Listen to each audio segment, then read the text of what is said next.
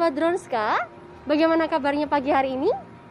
Hari ini Nana kembali menyapa sahabat Dronska dalam program Bincang-bincang sama doi edisi 31 Juli 2021. Pagi ini berbeda dari biasanya, Nana akan mengajak sahabat Dronska untuk kembali mengenal lokasi-lokasi di rumah sakit favorit kita bersama, Rumah Sakit Dr. Un Kandang Sapi Solo. Selain mengajak untuk mengenal ruangan dan lokasi pelayanan di rumah sakit, nanti akan kita buka dua kuis tebak lokasi bagi sahabat Dronska yang benar dan beruntung akan mendapatkan dua hadiah menarik berupa voucher pulsa Rp50.000. Kuis akan ditayangkan di awal tur ini dan jawabannya bisa disampaikan via kolom komentar ya.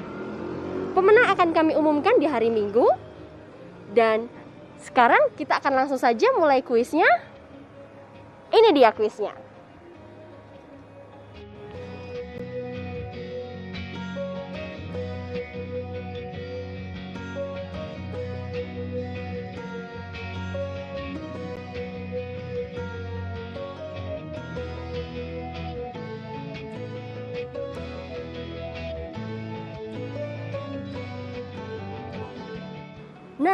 Itu tadi dua gambar kuis kita pagi hari ini. Sudah tahu belum di mana lokasinya? Apa nama lokasinya? Nah, sahabat Drunska bisa langsung tebak jawabannya di kolom komentar ya. Sekarang langsung saja kita mulai tur virtual pagi hari ini.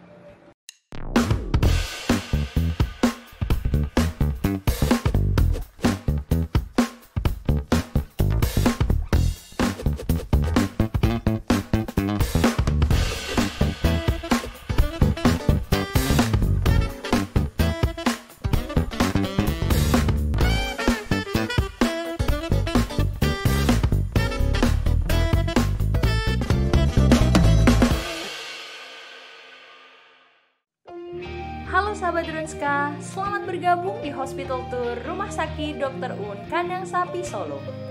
Mari kita awali Hospital Tour kita kali ini dari lantai 1 gedung utama. Saat ini kita berada di instalasi gawat darurat Rumah Sakit Dr. Un Kandang Sapi Solo.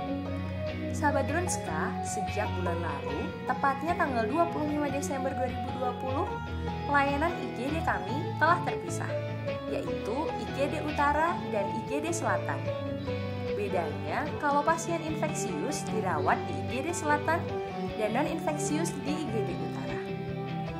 Pelayanan yang terpisah kita sesuaikan dengan kriteria pasien dan juga kondisi pandemi dengan screening pasien.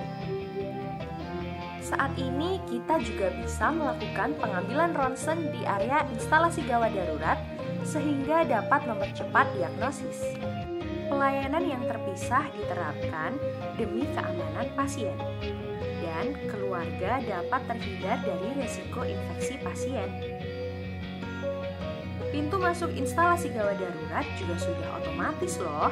Jadi pasien bisa segera masuk untuk tindakan medis tanpa harus membuka pintu terlebih dahulu. Yuk kita lihat ada apa aja di instalasi gawat darurat. Pertama, ruang triase tersendiri dengan petugas tersendiri. Bagi ibu yang sudah dalam keadaan darurat akan melahirkan, ada ruang emergensi kebidanan yang terpisah, yaitu ruang PONEK, pelayanan obstetri neonatal emergensi komprehensif. Ketiga, ruangan resusitasi dengan alat yang lengkap dan dekat dengan pengawasan perawat dan dokter. Keempat, ruang tindakan bedah minor dengan kelengkapan alat dan tenaga terlatih.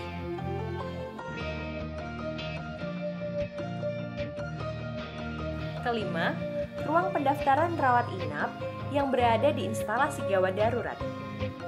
Enam, pelayanan one day care atau ODC dan one day surgery atau ODS.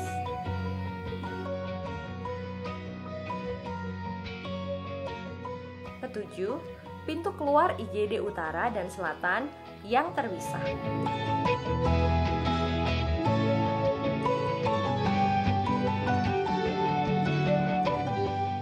Nah, sekarang kita berada di main hall Rumah Sakit Dr. Un Kandang Sapi Solo. Terlihat ada petugas keamanan yang siap melayani kedatangan pelanggan dan di sebelah kanan kita bisa dijumpai Cafe Diet. Buat sahabat Dronska yang mau menikmati aneka makanan dan minuman sehat dan bergizi, bisa berkunjung ke sini. Oh iya, di Cafe Diet, Rumah Sakit Dr. Kadang Sabi Solo juga menyediakan layanan catering diet dan juga ada layanan antar atau delivery-nya loh. Untuk pemesanan bisa hubungi nomor di bawah ini ya.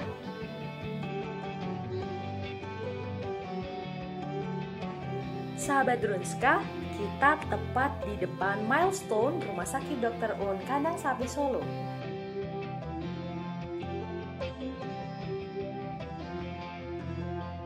Di depan milestone digunakan juga sebagai ruang tunggu bagi pengunjung. Di sini kita bisa melihat perjalanan rumah sakit dari tahun 1933 hingga sekarang. Beberapa penghargaan dan tahapan aktivitas juga terpampang di sini. Nah, sekarang kita berada di depan ruang Darmo Husodo. Ruangan ini digunakan untuk pertemuan internal maupun eksternal. Dan di sampingnya ada studio senam yang digunakan untuk kegiatan senam hamil dan senam yoga. Namun selama pandemi COVID-19, kegiatannya untuk sementara harus berhenti dulu.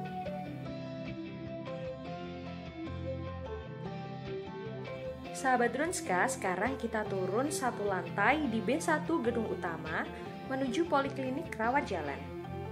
Bisa melalui tangga atau lift ini, atau jika menggunakan kendaraan bisa mengikuti arah menuju parkiran B1 dan terlihat ada gazebo di sana.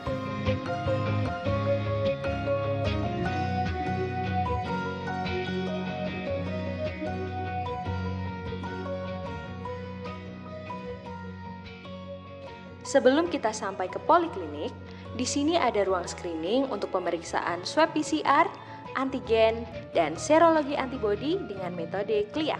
Bisa dilihat sahabat Dronska, lokasinya terbuka dengan sirkulasi udara yang baik.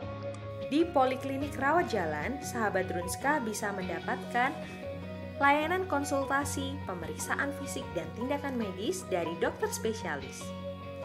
Layanan kliniknya ada klinik penyakit dalam, klinik anak, klinik bedah, klinik ortopedi, klinik urologi, klinik bedah digestif, klinik bedah onkologi, klinik bedah saraf, klinik bedah toraks, klinik bedah plastik, klinik bedah mulut, klinik anestesi, klinik gigi dan mulut, klinik jantung, klinik saraf, klinik mata, klinik paru, klinik kulit dan kelamin, klinik psikiatri, klinik kosmetik, klinik THT, dan klinik rehabilitasi medik.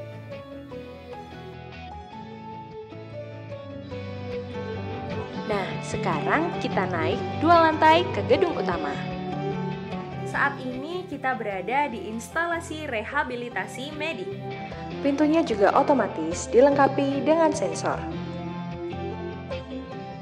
Di sini, sahabat Drunska bisa mendapatkan layanan terapi fisik dan rehabilitasi. Manfaatnya untuk meningkatkan kualitas hidup dengan mengurangi keterbatasan atau gangguan fungsi yang ada.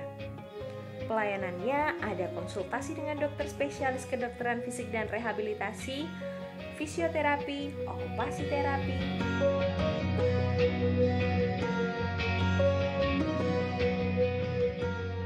terapi wicara, ortotik prostetik, psikolog, dan pelayanan tumbuh kembang anak.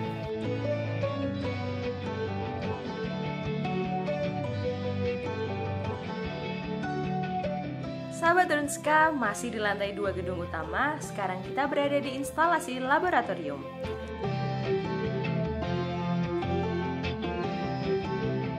Layanannya ada berbagai macam nih. Layanannya berupa patologi klinik yang meliputi hematologi, kimia darah, fungsi ginjal, profil lemak, gula darah, fungsi hati, deteksi infeksi, deteksi kanker, urin atau air seni, feses atau tinja. Selain layanan patologi klinik, dilengkapi juga laboratorium patologi anatomi untuk membantu proses diagnosis yang lebih akurat pada keganasan suatu organ atau jaringan tubuh. Sahabat Drunska, sekarang kita berada di lantai satu gedung utama. Mari kita ketahui ada apa aja sih di instalasi radiologi. Di sini kita memberikan layanan hasil berupa foto atau gambar untuk membantu dokter dalam menentukan diagnosis penyakit pada pasien agar perawatan yang diberikan tepat. Berbagai alat yang ada di sini meliputi CT scan 128 slices, MRI 1,5 Tesla, panoramic 3D, ronsen torak, USG, dan USG 4D. Sahabat Drunska, di sebelah radiologi bisa lihat ada instalasi farmasi sebagai layanan penyedia obat untuk pasien. Kami juga menyediakan layanan antar obat loh untuk memudahkan sahabat Drunska dalam menghemat waktu menebus resep obat. Sahabat Drunska, kita masih di satu area dengan farmasi dan radiologi tepatnya di klinik anak dan juga klinik bedah anak yang terpisah dari pasien dewasa dan infeksius. Sahabat Drunska, yuk mari kita berjalan menuju gedung Twin Towers dan memasuki healthy area. Terlihat ada taman yang teduh di sebelah kanan kita. Taman ini berada di dekat poliklinik dan di antara gedung Twin Towers dan gedung utama.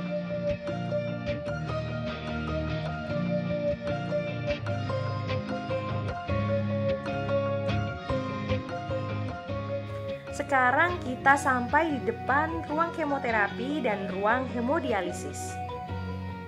Kita mulai dari ruang hemodialisis yang memiliki tempat pelayanan yang nyaman dan luas. Suhu ruangan di sini sentral dan ada TV di setiap bed. Ukuran setiap ruangnya 2,4 kali 2,4 meter dengan pembatas sekat gorden. Jadi privasi pasien terjaga dan pastinya alat yang digunakan sudah modern dan memadai.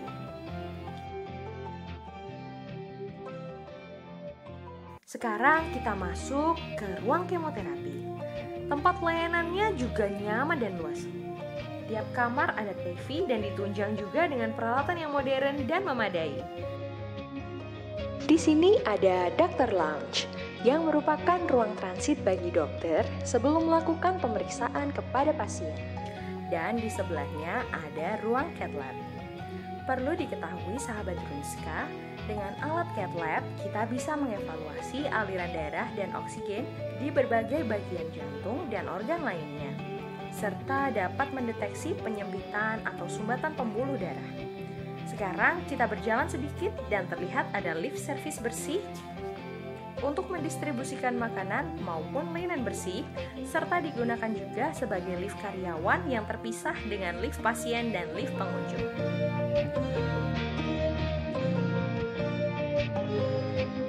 Dan tersedia juga lift emergency. Nah, sekarang kita menuju Klinik Ibu dan Anak atau KIA yang berada di Healthy Area Rumah Sakit Dr. Un Kandang Sapi Solo. Artinya terpisah dengan pasien sakit dan area infeksius. Sebelum itu, tepat di depan kita ada klinik onkologi, kemudian berjalan maju sampai di klinik ibu dan anak. Sebelum kita masuk ke klinik ibu dan anak, mari kita sejenak menghirup udara segar di Taman Gazebo. Tarik nafas, keluarkan. Sangat sejuk.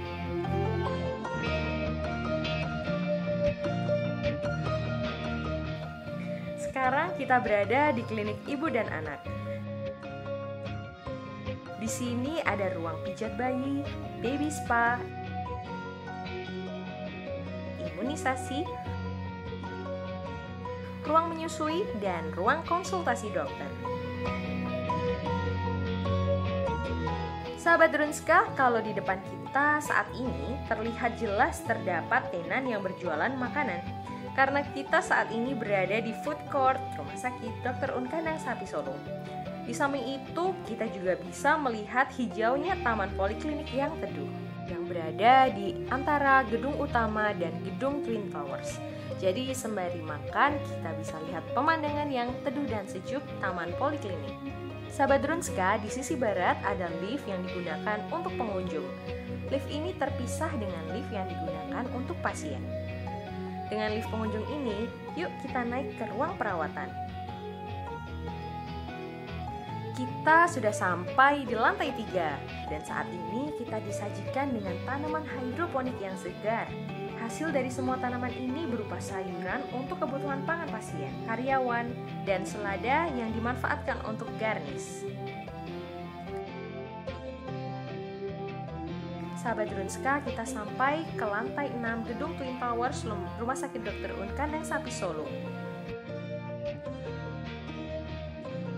Saat ini kita mulai dari ruang perawatan kelas 3, kelas 2, kelas 1, VIP, dan eksekutif. Rincian fasilitasnya bisa dilihat di bawah ini ya. Sahabat Drunska, supaya sirkulasi udara tetap baik di setiap ruang perawatan, disediakan balkon dan beberapa kamar juga ada tamannya loh. Sahabat Drunska, sekarang kita kembali di The Un Healthy Area.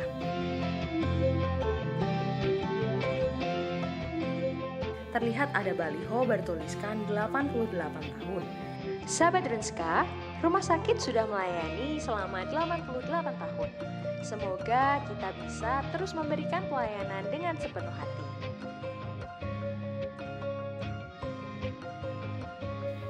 sahabat Drunska perlu tahu bahwa anak di bawah umur 12 tahun tidak boleh naik ke ruang perawatan.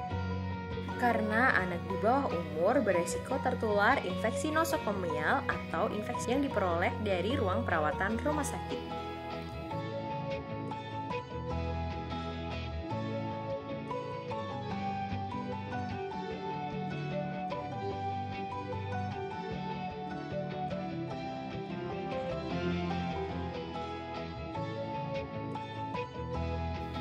Sahabat Drunska di The Unhealthy Area ini juga ada musola, ruang doa, ruang menyusui, dan ruang museum yang biasanya digunakan untuk event kegiatan. Sahabat Drunska bisa dilihat ada beragam penghargaan yang diraih rumah sakit dari tahun ke tahun. Sahabat Drunska, tidak terasa kita sudah berkeliling ke rumah sakit Dr. Unkanang Sapi Solo. Semoga bermanfaat untuk sahabat Rinska sekalian dan tidak bingung lagi ya kalau datang ke sini. Dan jangan lupa selalu lakukan 3M. Menggunakan masker, menjaga jarak, dan mencuci tangan dengan sabun selalu. Update terus informasi seputar Rumah Sakit Dr. Unkanang Sapi Solo dengan follow sosial media at Dronska dan jangan lupa untuk subscribe di YouTube kami juga ya di at Dronska. Sampai jumpa lagi bagi sahabat Dronska. Selamat melanjutkan aktivitasnya. Dadah.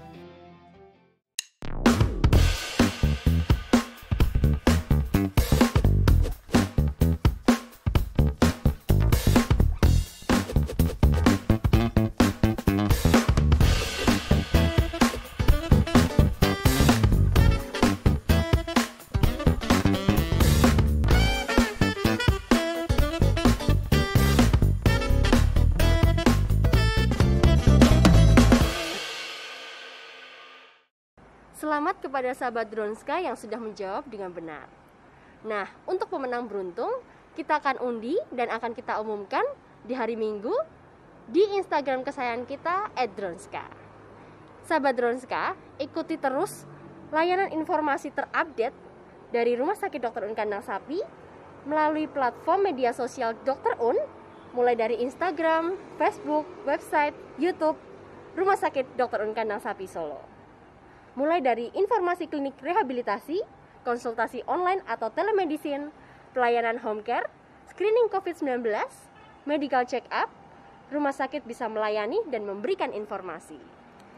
Tetap jaga kesehatan dengan makanan yang bergizi. Jangan lupa untuk selalu mencuci tangan dengan sabun, jaga jarak fisik dengan orang lain, dan pakai masker dengan benar. Menutup hidung dan juga mulut. Kami selalu menjaga kesehatan serta kenyamanan sahabat Dronska semua di masa pandemi. Dengan adanya healthy area, layanan catering diet, juga pelayanan konsultasi online dengan dokter, yaitu telemedicine, dan dapat mengantar obat sampai tujuan melalui layanan antar obat. Terima kasih sahabat Dronska sudah mengikuti tur virtual pada pagi hari ini. Selamat melanjutkan aktivitas dan jangan lupa tetap menjaga kebersihan dan kesehatan serta di rumah saja. Kita berdoa semoga wabah virus corona ini segera berakhir. Sampai jumpa di acara bincang-bincang sama doi selanjutnya. Dronska tetap aman.